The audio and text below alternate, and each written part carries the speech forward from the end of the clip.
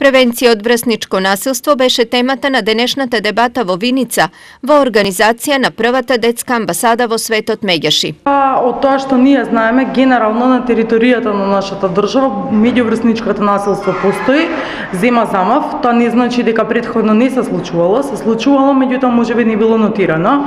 Тоа што сега се случува, психолошкото насилство на вистина е актуелно, постојат и пресметки, како што сме сведоци од страна на вас медиумите и меѓу женски и меѓу машки.